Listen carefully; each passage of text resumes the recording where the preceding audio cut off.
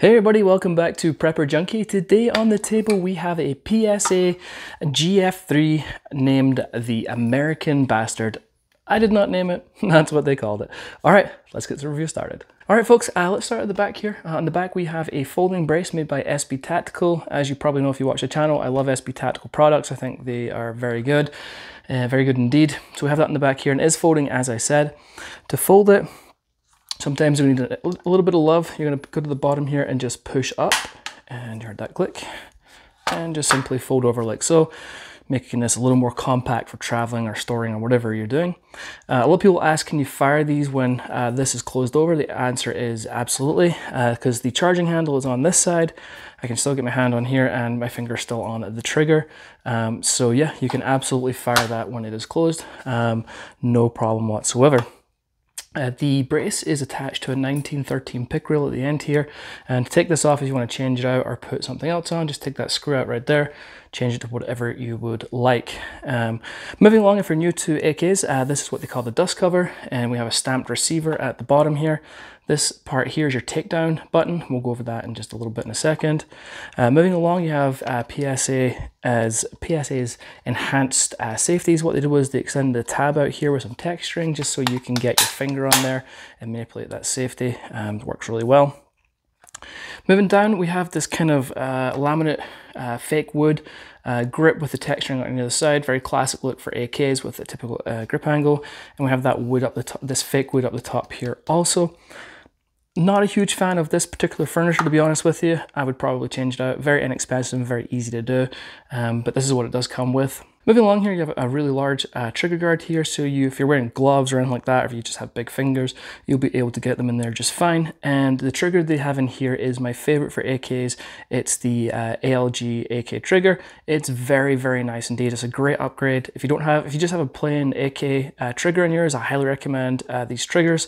They, um, they have, they're really, they've got a really nice, let's go just have a look here. You got a little bit of take up, really audible and tactile crisp break. You can, it's a really nice break. You get a little bit of let out, very tactile, very audible. Uh, uh, reset on that as well uh, with just a little bit of a let out. It's a very nice trigger. As I say, I do highly recommend them. Moving along, we have the standard paddle release mag on AKs. Um, I love paddle uh, release mags.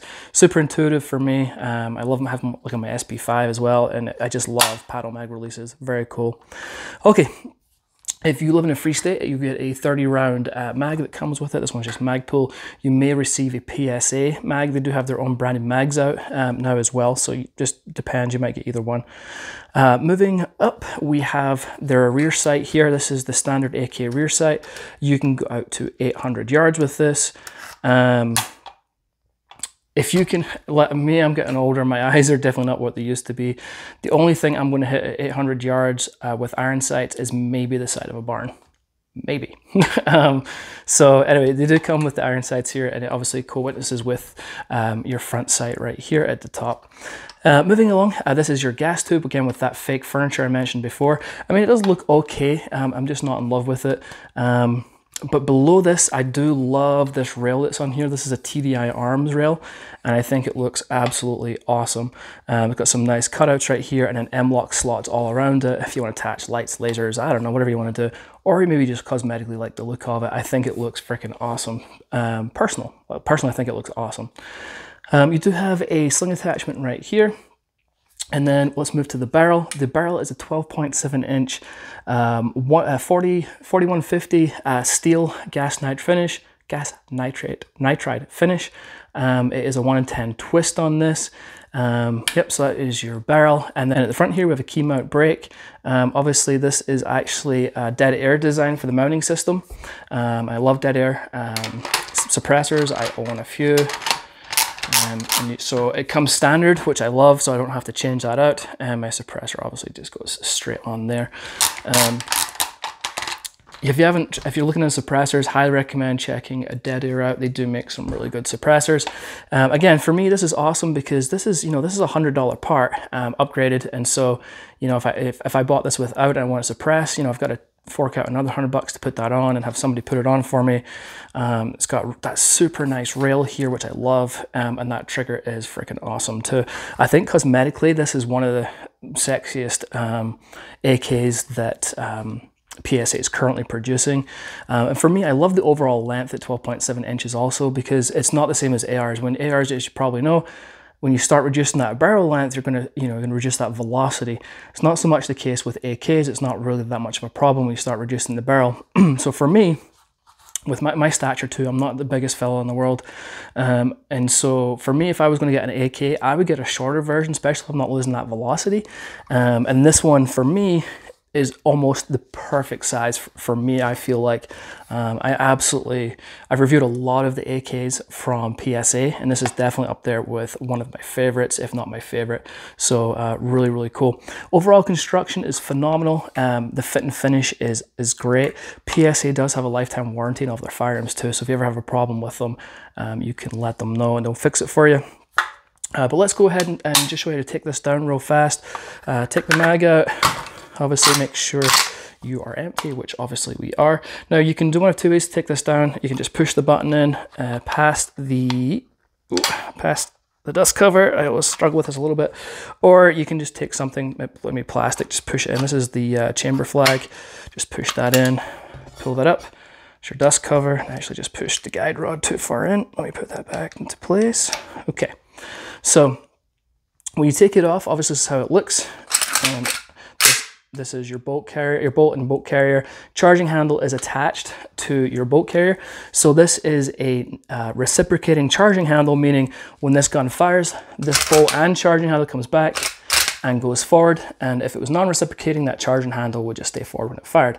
So one of the things you've gotta be aware with AKs is obviously this charging handle does come back. Keep your hands out of the way, make sure there's no obstructions or you might get a failure to fire or, or cause whatever issue. So just be aware of that. To take this down even further, just push that button forward a little bit. It's going to take it off of these tracks back here. So you pull that out as your guide rod and spring, and then you're simply going to pull back on your bolt and your bolt carrier. Uh, these are these parts are hammer forged parts along with the front trunnion, um, so they're excellent quality parts. They're not cast or anything like that. These are really durable parts. And so put that down there. And then you come to your gas block. To take this off, there's this little lever right here on the side. And if you look, there's a piece here as you turn this, you can see it. I'm not gonna get it on camera, unfortunately, but when it goes straight up and down, like so, you can just slide out your gas, uh, gas tube like so. And that is it. And that is your stripped AK. And obviously just go in reverse to put it back together. All right, so obviously we're back together. You know, I was thinking what would be the thing that would just make this even better for me? Obviously, the furniture change out would be something I would do, but like, not not kind of cosmetically, what would be the ultimate thing for me? I think if they could change this barrel um, to a Cold Hammer Forged barrel and their F like a FN Cold Hammer Forged barrel, like on their GF5 versions, that would be freaking phenomenal. As it stands, as I say, I freaking love the look of this. I love what they've done. Very very cool.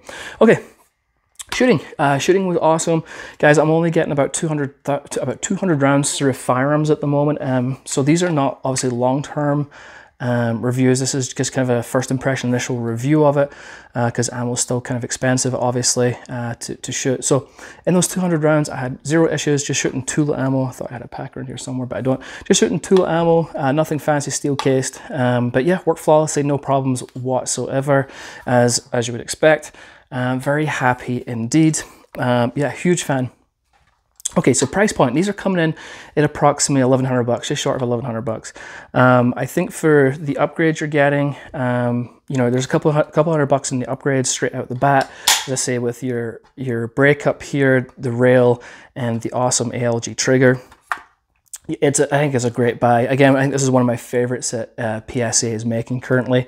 So yeah, I definitely recommend. I think it's awesome. If you have any questions, any comments, please ask them below. I'm always happy to help out wherever I can. If you haven't hit that like and subscribe button, please do so. It doesn't cost you a dime, but it really helps me out and I greatly, greatly appreciate it. And um, yeah, that's it. All right, folks, until next time, I'll catch you later.